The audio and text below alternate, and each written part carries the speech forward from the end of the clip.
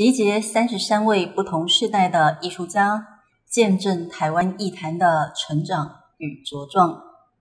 作为联邦艺术奖的总召集人，许坤成教授带领团队，培育出多位优质的艺术家，并提高其能见度，为台湾的艺术史发展注入一股活力，留下珍贵的历史见证。这一次展出多位得奖者历年的作品，引领观众回顾过去的艺术内涵与表现，并扶持年轻一代的艺术家。呈现崭新的创作能量。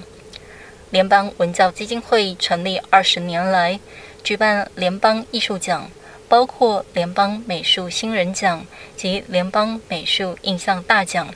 以高额奖金鼓励台湾本土艺术创作者勇于创作，实现梦想，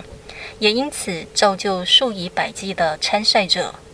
为了表彰并让国人进一步认识成为这片土地努力的优秀艺术前辈，更成立颁发台湾美术贡献奖，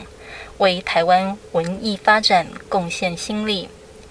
联邦艺术二十年回顾展以“希望前进”为主题，二十年代表进入转大人的成年阶段。希望前进，则是象征将以更稳健的脚步迈向下一个里程碑。展览集结三十三位不同世代首奖得奖者的代表作、主题创作作品，让民众见证台湾本土艺坛的成长与茁壮。十方新闻记者赖一荣台北采访报道。